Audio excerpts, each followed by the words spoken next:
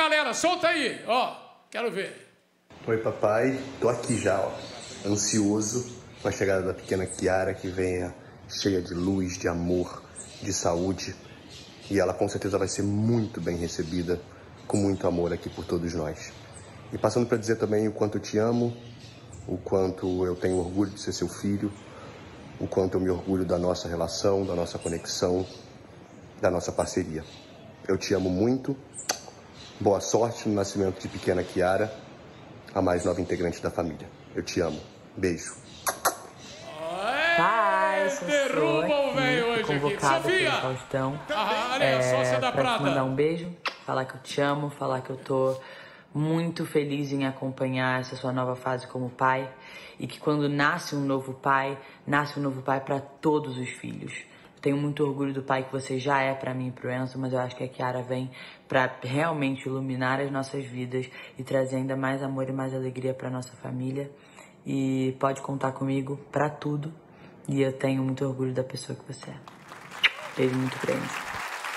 Isso é muito bom. né? Quando a gente fala desses dois, que são joias raríssimas, tá aqui um exemplo, né? Vocês derrubam sempre aqui, né? É impressionante. Você tem esse, esse talento. É, é muito legal acompanhar isso, né? Eles não vão perder o pai porque eu estou tendo um uma nova filha.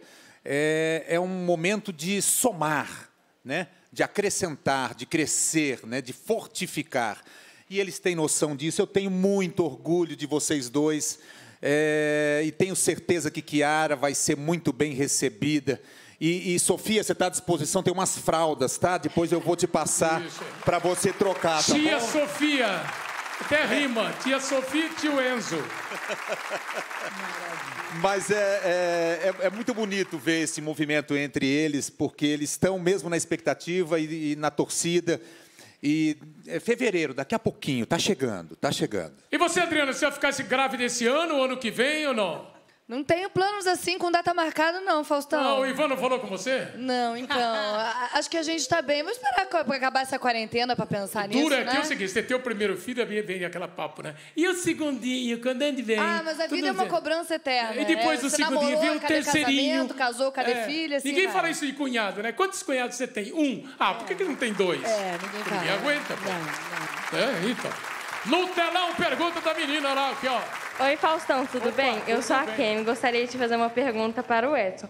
Bateu medo quando você soube que seria pai novamente? Não, não bate medo. Eu, é, eu adoro o ofício de ser pai. Você vê aí pelo Enzo e pela Sofia, que Você são tem motivo pra voltar pra Disney também agora. também. e, pois é, mais uma vez, eu já tinha levado, antes do Enzo e da Sofia, um negócio de Disney, eu já tinha levado sobrinhos, uns três. Metade de Bauru já E foi agora é metade de Bauru, agora vou ter que fazer de novo. Então, isso é, é, não, não dá medo, ao contrário, dá é coragem de você enfrentar o mundo tudo de novo por causa dessa criança nova. O maior patrimônio do ser humano é a família mesmo, de fa- fazer isso, né? É, é muito legal, a gente já está conversando muito. Você sabe que eu tenho esse, esse talento aí de falar com ela, ela mexe na barriga da Karen. E vamos ver depois, né?